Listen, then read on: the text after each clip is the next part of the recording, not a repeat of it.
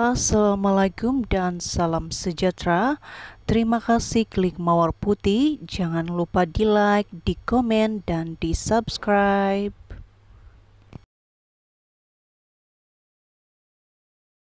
Pergongsian ibu mentua kepada pelakon Putri Sara yaitu Datin Fatima Ismail menjadi perhatian mengatakan menantunya itu akan beraya di luar negara bersama anak-anaknya.